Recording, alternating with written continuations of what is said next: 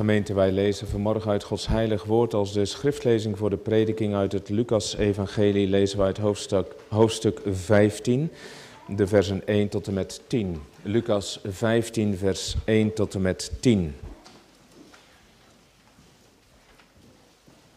Vanmorgen willen we ook stilstaan, niet alleen bij de heilige doop, maar ook bij de opening van het winterwerk en uh, daar willen we ook aandacht voor hebben in deze dienst, ook in dit Bijbelgedeelte. We lezen Lucas 15, vers 1 tot en met 10.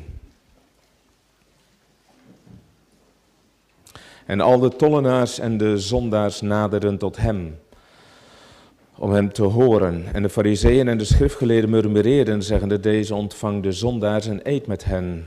En hij sprak tot hen deze gelijkenis, zeggende, wat men zonder u hebben de honderd schapen en één van die verliezende, verlaat niet de 99 in de woestijn en gaat naar het verlorene totdat hij het zelf vinde.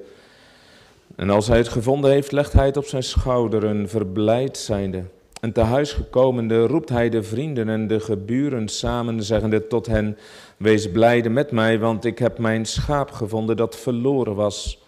Ik zeg jullie dat er al zo blijdschap zal zijn in de hemel over één zondaar die zich bekeert. Meer dan over 99 rechtvaardigen die de bekering niet van noden hebben. Of wat vrouw hebben de tien penningen. Indien zij één penning verliest, ontsteekt niet een kaars en keert het huis met bezemen en zoekt naastiglijk, ijverig, totdat zij die vindt. En als ze die gevonden heeft, roept zij de vriendinnen en de geburinnen samen, zeggende, wees blijde met mij, want ik heb de penning gevonden die ik verloren had. Alzo zeg ik u lieden, is er blijdschap voor de engelen van God over één zondaar die zich bekeert. Tot zover dit gedeelte uit Gods woord. Geliefde gemeente, de tekst voor de preek van vanmorgen vindt u in het gedeelte dat we hebben gelezen uit Lucas 15. Ik lees versen 4 en 5 als tekstversen voor de preek. Lucas 15, vers 4 en 5. Wat mens onder u, hebben de honderd schapen en één van die verliezende, verlaat niet de 99 in de woestijn en gaat naar het verlorene, totdat hij hetzelfde vinde.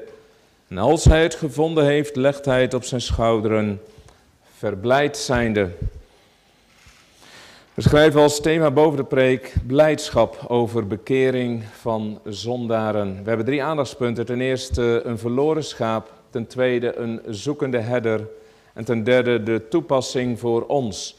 Blijdschap over bekering van zondaren, drie punten. Een verloren schaap, een zoekende herder en de toepassing voor ons. Geliefde gemeente, er was een gezin, jongens en meisjes, en in dat gezin hadden de ouders besloten om een jong hondje aan te schaffen, een puppy. Nou, misschien hebben jullie dat wel eens meegemaakt. Wat is dat vertederend, wat is dat lief, zo'n klein diertje. En wat gingen de kinderen in dat gezin zich hechten aan dat diertje? Als ze thuis kwamen uit school, wat deden ze als eerste? Natuurlijk naar dat hondje toe om dat te aaien, daarmee te spelen. Ze kregen daar een band mee. Ze voelden zich zo verbonden met dat jonge hondje. En toen gebeurde er iets. Toen op een dag, toen kwamen ze thuis uit school. En, en, en waar was dat hondje gebleven? Ze konden hem nergens vinden. Had iemand de deur op een kier laten staan? Was hij naar buiten geglipt? Ja, dat, dat moest wel. Groot was de schrik verdriet, de angst. En ze gingen allemaal zoeken. En iedereen werd ingeschakeld om te zoeken. De hele middag, de hele avond zochten ze, wat waren ze bezorgd. Waar zou toch dat hondje zijn? Zouden ze het wel ooit weer terugvinden?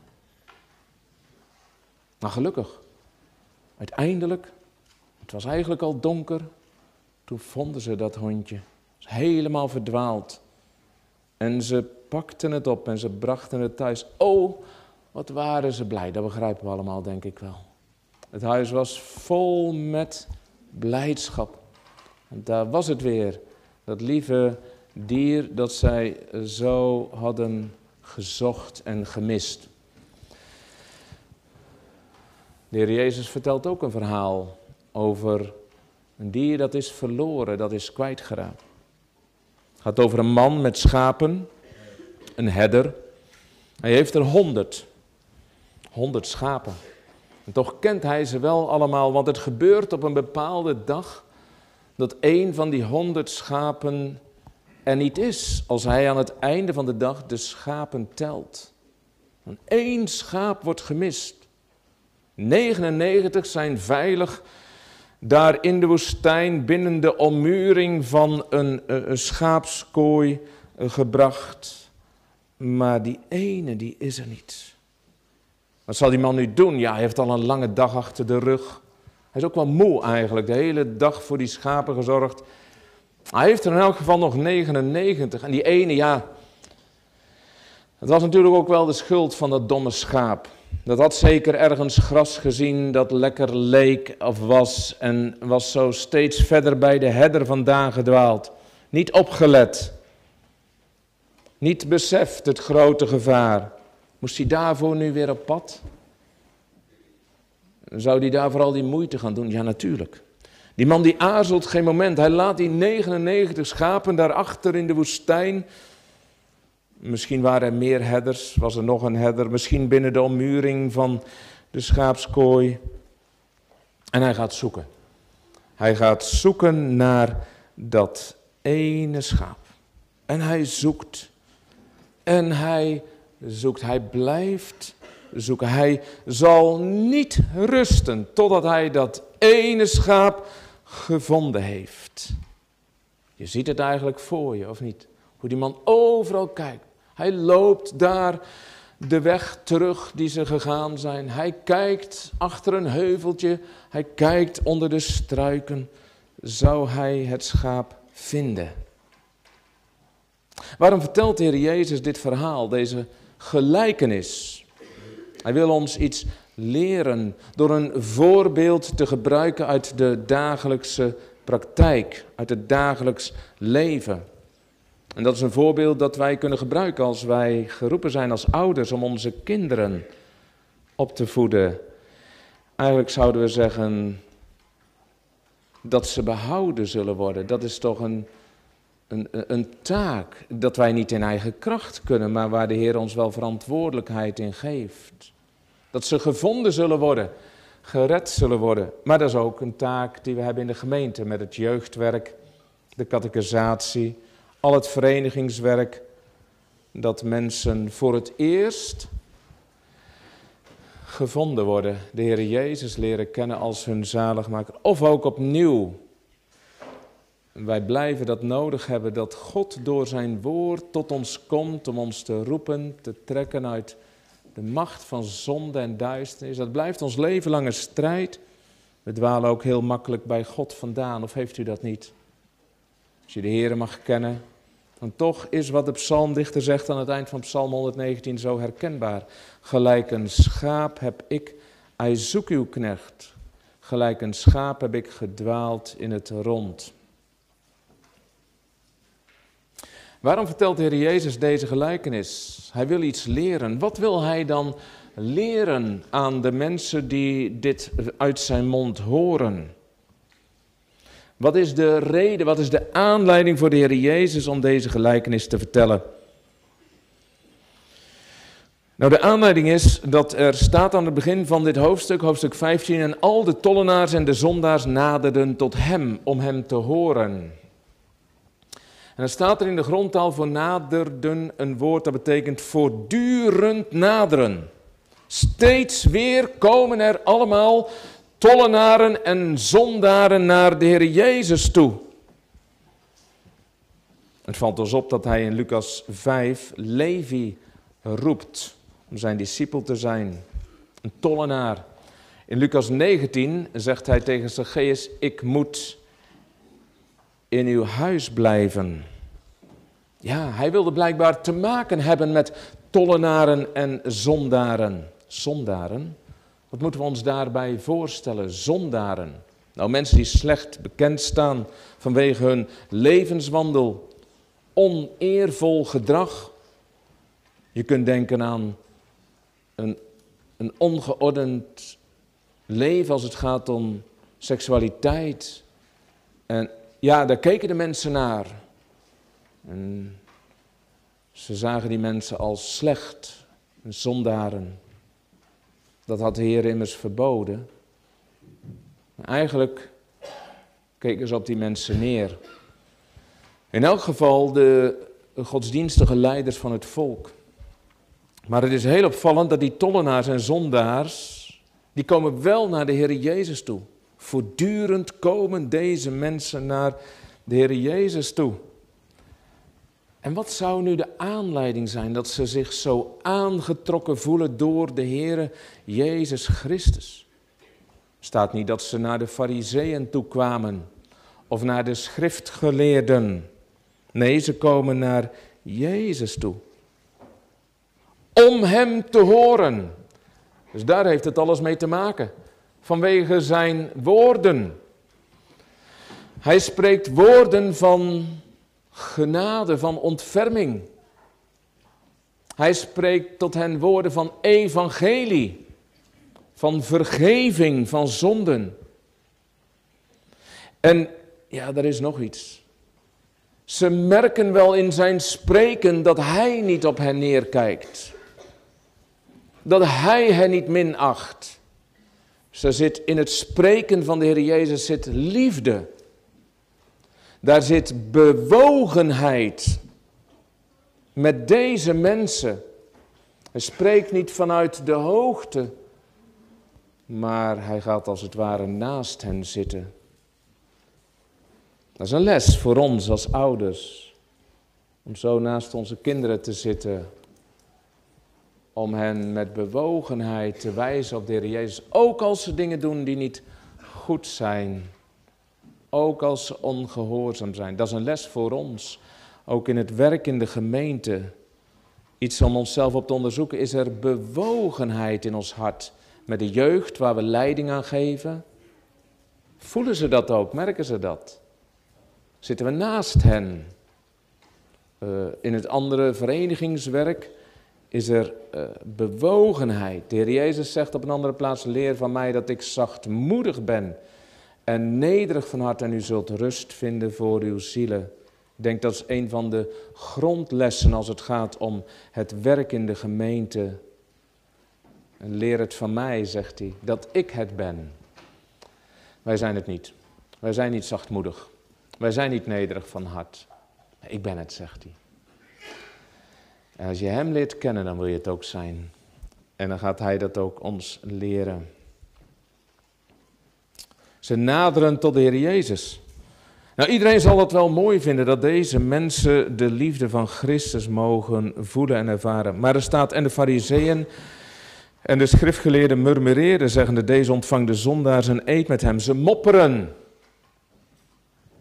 Zij vinden dit niet mooi.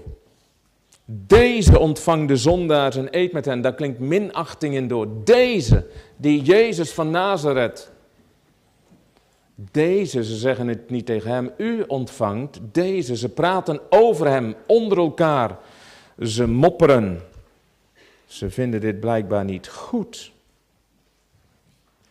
Wie zijn dat, de fariseeën? Nou, dat zijn mensen die heel wetsgetrouw zijn. Dat is een bepaalde stroming in, in het jodendom.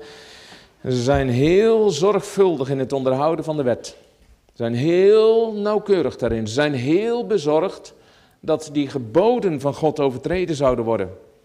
En daarom hebben ze er nog 613 extra regels bij bedacht. Om er maar voor te zorgen dat toch niemand de geboden van God zou overtreden. Dus er konden ze een hele boek over schrijven. Dus als het ging om het gebod van de Sabbat te houden, nou, dan gingen ze dat verder uitwerken wat je dan allemaal niet en wel mocht. Nou, je mocht geen gereedschap dragen op de Sabbat bijvoorbeeld. Ja, hoe ver strekt dat? Was het dan zonde als je een naald in je zak van je jas had? Dat is gereedschap. Ja, mag je toch niet dragen op zondag. En zo kon je eindeloos doorgaan om te proberen regels uh, uit te schrijven, zodat mensen maar niet de geboden van God overtreden. Maar wat zegt de Heer Jezus tegen hen? Jullie laten na het belangrijkste van de wet, namelijk de liefde. Dus door al die regels die ze uit zorgvuldigheid hadden opgesteld om ervoor te zorgen dat Gods geboden niet zouden worden overtreden, hadden ze het zo ingewikkeld gemaakt dat de mensen daar helemaal mee bezig waren en vergaten waar het echt om ging.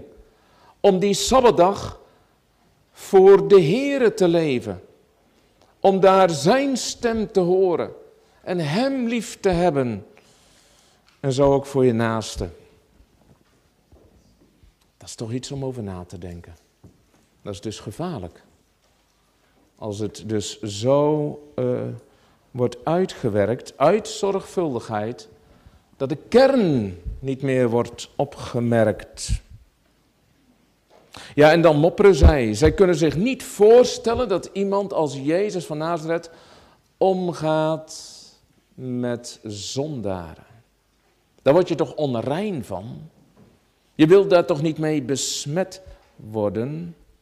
Minachting. Deze ontvangt zondaren en hij eet met hen. Nou, eten, dat is in het oosten een, uh, een gebaar van verbondenheid, van vriendschap. Vriendschap, verbondenheid met zulke mensen die zo zijn afgedwaald van het rechte spoor van Gods geboden. De Heer Jezus weet het, dat ze zo over hem praten. En dan vertelt hij deze gelijkenis. Dat is dus de aanleiding. Zo'n zondaar, zo'n tollenaar lijkt op een verloren schaap, inderdaad, de weg kwijtgeraakt. Maar Jezus zoekt het verlorene. Daar is hij voor gekomen. Dat is onze tweede gedachte. We hebben eh, een verloren schaap, een zoekende herder. Jezus vergelijkt zichzelf met de herder. Een herder is een veracht beroep. Die mensen die stinken naar dieren. Dat is de onderklasse van de maatschappij. Maar de Heer Jezus zegt in Johannes 10, ik ben de goede herder. Hij schaamt zich niet om herder te zijn. Je zou hierbij ook kunnen denken aan wat er staat in het Oude Testament, in Ezekiel 34. Dan gaat het erover dat de herders van Israël geen goede herders zijn. Zij gebruiken de schapen, uh, ze slachten de schapen, ze eten uh, het vlees daarvan. In plaats dat ze zorgen voor de schapen, ze denken aan zichzelf en niet aan de schapen. En dan zegt de Heer, maar dat wat is kwijtgeraakt, dat het verlorene, dat zal ik zoeken. En dan zegt de Heer in dat hoofdstuk ook dat hij een goede herder zal verwekken. De Heer Jezus zal komen. En de Heer Jezus grijpt daar in Johannes 10 op terug. Ik ben de goede herder. De Heer zegt het verlorene, dat zal ik zoeken. Al in het Oude Testament. Dat is het evangelie, gemeente. Als we de Bijbel zouden moeten samenvatten, dan zouden we dat in drie woorden kunnen. God zoekt mensen. Dat is het evangelie van vrije genade, dat God in zijn grote ontferming mensen zoekt. Daarmee is God al begonnen in het paradijs. Op het moment dat de mens zondigde, hem daarin ongehoorzaam was, at van de verboden boom, als God wilde zijn.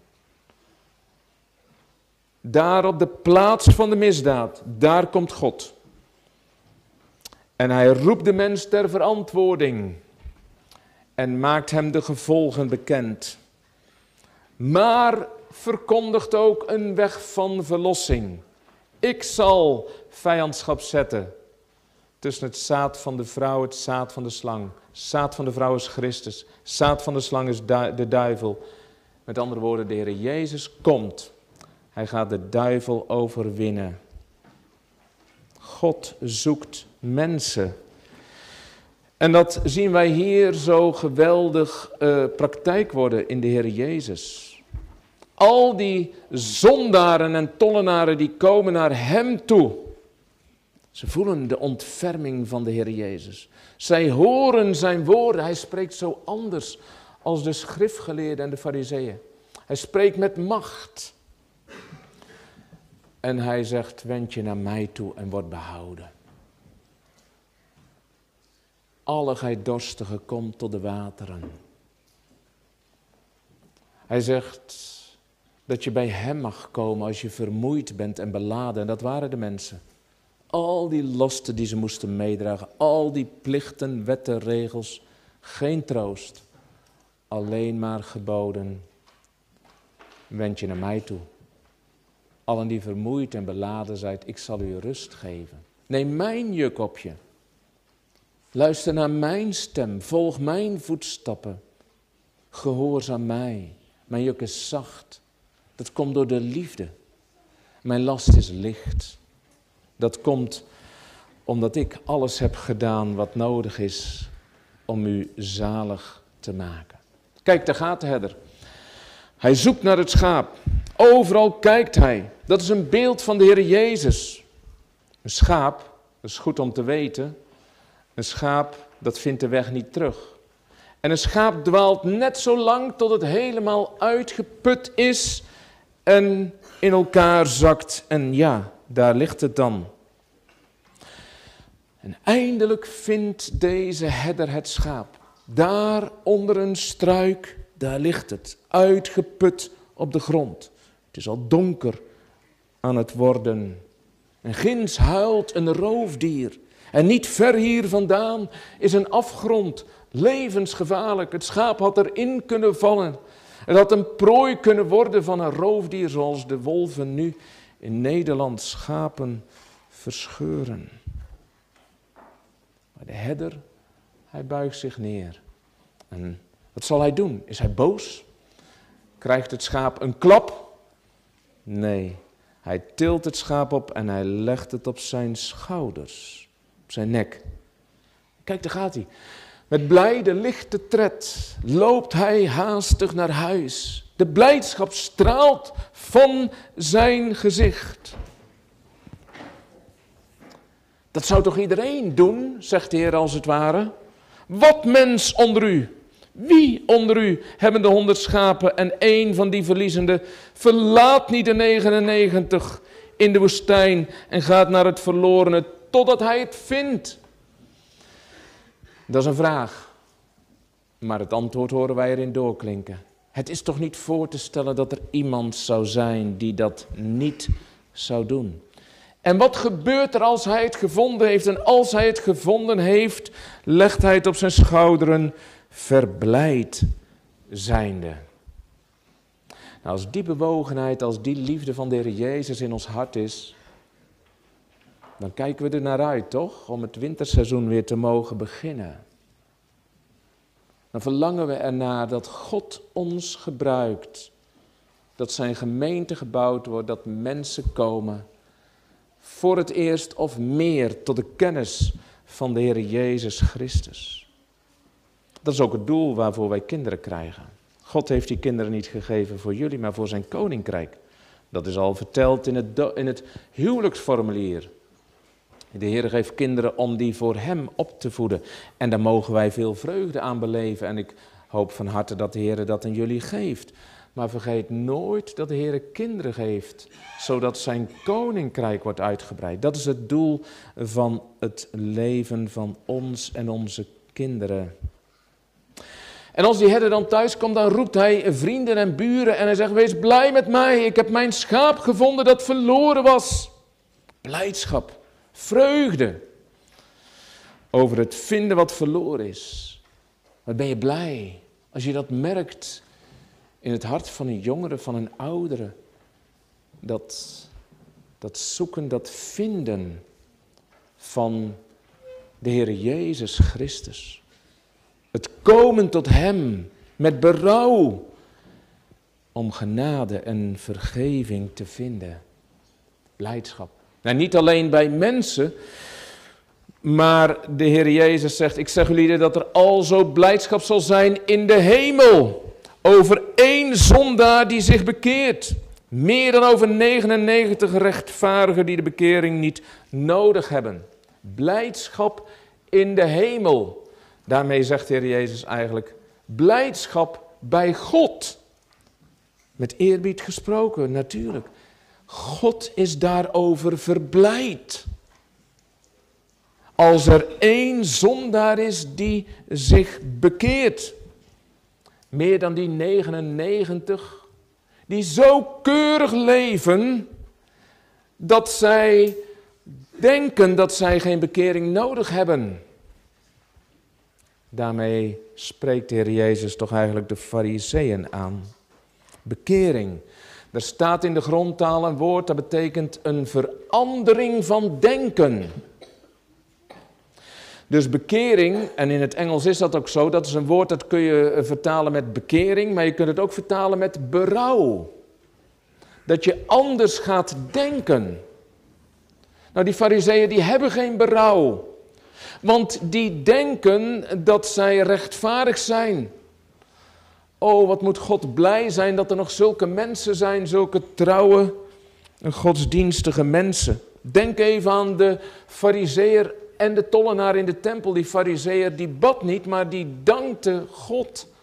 Eigenlijk zei hij dat de Heer dankbaar moest zijn dat hij zo rechtvaardig was. En daarover is geen blijdschap in de hemel, over zulke mensen. Mensen die denken dat zij geen berouw hoeven te betonen. Mensen die onveranderd doorleven. Wat is dat aangrijpend, wat verdrietig als wij niet het inzicht hebben van wie wij zijn voor God. Als er geen berouw is. En dus ook geen zien op Christus, op het kruis, onder Hem vergeving en genade te ontvangen. Blijdschap in de hemel. En dan de toepassing voor ons, gemeente, de derde gedachte. Er zijn drie gelijkenissen. En de eerste is over dat verloren schaap. Waarin wij de herder zien, de Heer Jezus, die zoekt wat verloren is. Dat doet hij ook vanmorgen, gemeente. Door de prediking van het woord komt de Heer als de grote herder naar u en naar jullie toe, kinderen. En hij wil dat jullie hem leren kennen. Daarom ga je naar de zondagschool. Daarom ga je naar de catechisatie. Het verenigingsleven. Dat zijn middelen die God geeft. Daarom gaan we naar de kerk. En daarin komt de Heer naar je toe. En hij buigt zich neer om je op te tillen. En je eh, terug te brengen bij Hem. Laat één ding duidelijk zijn. Wat er staat in het woord van God. De Heere heeft geen lust in de dood van de goddelozen. Dat wil de Heer niet graag dat mensen verloren gaan. Maar daarin heeft hij lust, daarin heeft hij vreugde, blijdschap in de hemel. Als goddelozen zich bekeren, dat betekent niet dat je in eigen kracht je leven op orde krijgt, maar dat je berouw toont, dat je het erkent voor God. Here, ik heb mijzelf meer lief dan u. Ik zet mezelf in het middelpunt met al mijn vroomheid, mijn godsdienstigheid, mijn rechtzinnigheid, maar ik leef aan uw zoon voorbij. En daarmee ben ik een zondaar voor u, bereik ik niet het doel van mijn leven om voor u te leven. Daarover is blijdschap in de hemel. Kinderen, daar hoef je niet oud voor te zijn, zo jong als je bent. Buig je knieën. En vertel aan de Heer alles wat er is in je leven. En vraag Hem om zijn vergeving, om zijn troost, om het kennen van de Heer Jezus door de Heilige Geest. En de Heer luistert naar zo'n gebed. De Heer doet dat ook daadwerkelijk. Drie gelijkenissen. De eerste gaat over dat verloren schaap en die herder. De tweede gaat over een vrouw die tien penningen heeft. Dus eerst honderd schapen, waarvan er één verloren is. Dan tien penningen, waarvan er één verloren is en gevonden wordt. Eigenlijk een gelijkenis met dezelfde strekking. Maar dan zegt de Heer Jezus aan het einde in vers 10, alzo zeg ik jullie, is er blijdschap. Nu zegt hij niet in de hemel, maar hij zegt voor de engelen van God over één zondaar die zich bekeert. Dus er is blijdschap bij God zelf, maar dus ook bij de engelen die staan voor zijn aangezicht en voor zijn troon. Het komt dichterbij. En zo gaat het door, ook in in de derde gelijkenis, en die kennen we heel goed, dat is de gelijkenis over de verloren zoon. Twee zonen, dus honderd schapen, één verloren. Tien penningen, één verloren. Twee zonen, één verloren. Het komt steeds dichterbij. De verloren zoon die de wereld inging en die zo blij was met die zak geld van zijn vader en die dacht de zon heeft nog nooit zo mooi geschenen als vandaag toen hij van huis vandaan ging. Maar het liep het verdrietig af. Hij raakte alles kwijt, had geen eten meer. Toen kwam hij tot zichzelf, tot inkeer. Toen kwam hij terug tot zijn vader. Toen ging hij beleiden dat hij gezondigd had. Toen stond die vader op de uitkijk. Die rende hem tegemoet. Die omhelsde hem in zijn vuile kleren, in zijn verscheurde pakje. En hij zei: Haal nieuwe kleren. Hij gaf hem niet eens de kans om uit te spreken. En die zoon wilde zeggen: Ik ben niet waard uw zoon te zijn. Maar zover kwam hij niet eens. Die vader zegt: Geef hem nieuwe schoenen, nieuwe kleding, een ring dat alles duidelijk zal vertellen aan mijn jongen dat hij mijn kind is. En uh, slacht het gemeste kalf en laat ons vrolijk zijn. Blijdschap bij God, blijdschap bij de engelen. En dan aan het einde van die derde gelijkenis, daar zegt de Heer, men behoorde dan vrolijk en blij te zijn. Dus wij, jullie, fariseeën, behoren vrolijk en blij te zijn, want deze uw broeder was dood en is weer levend geworden. Hij was verloren en is gevonden. En moet dan vooral, er zit dus een opklimming in, zou je kunnen zeggen. Het wordt steeds meer duidelijk. En dan bij die derde gelijkenis, dan komt het heel dichtbij. Wat moet toen voor die fariseeën duidelijk geworden zijn dat ze in de spiegel keken? Want wat gebeurde er in die derde gelijkenis? Daar is die ene zoon die altijd netjes had geleefd. En als er dan feest gevierd wordt omdat die verloren zoon thuis is gekomen, dan wil hij niet naar binnen gaan. Dan zit hij te mokken en te mopperen op een omgevallen boom. En hij wil niet naar binnen gaan. Daarbinnen is licht en vreugde. Daarbuiten is de duisternis. Hij is boos. Ik heb altijd netjes geleefd. Hij heeft alles met hoeren doorgebracht. En u slacht voor hem het gemeste kalf. Ik heb nog nooit zelfs een bokje gekregen. Hij is boos over wat er gebeurt. En zijn vader die gaat naar buiten. Zijn vader gaat naar buiten. Die gaat naast hem zitten. Die zegt, jongen, maar alles wat van mij is, dat is van jou. Jij bent altijd bij mij. Men behoorde vrolijk te zijn en blijde. En dan ineens, dan zien we het. Dan heeft de Heer Jezus de Fariseërs uitgetekend. Die ene zoon die altijd netjes had geleefd, thuis was gebleven bij zijn vader. Dat zijn de Fariseeën. En uiteindelijk is dat de verloren zoon. Hij staat buiten in de duisternis. En die zoon die er alles doorgebracht had, die zit binnen aan tafel. In het licht en in de vreugde. Wat een indringende les in deze drie gelijkenissen. De fariseeën die buiten staan en zondaren die binnen gaan. Wat moet hen dat raken? Dat is toch ook het doel van de Heer Jezus. Stel je voor, kinderen, dat je boos bent op je moeder. Je hebt iets gedaan wat niet goed is. En ja, nu heb je straf gekregen. En je vindt het onrechtvaardig. Je bent zo boos. Je zegt allemaal boze woorden. En je ogen staan boos en je heel je gezicht. Je bent echt heel erg boos op je moeder. Maar als je moeder dan vriendelijk blijft en je vol liefde aan blijft kijken, dan is dat eigenlijk nog veel moeilijker op zo'n moment, of niet? Dan zie je in die houding van je moeder nog des te helderder wat jij aan het doen bent. Hoe verkeerd het is dat je zo boos bent op je moeder. Is dat niet wat de Heer Jezus wil bereiken bij deze fariseeën? Dat het zal doordringen waar ze mee bezig zijn. Zien wij daarin bij de zaligmaker ook niet grote bewogenheid bij de, over deze hooghartige, godsdienstige, verharde fariseeën en schriftgeleerden? Nee, de Heer heeft geen lust erin. Dat zij zo doorgaan en verloren zullen gaan. Maar hij wil dat ook zij zich zullen bekeren en zullen leven.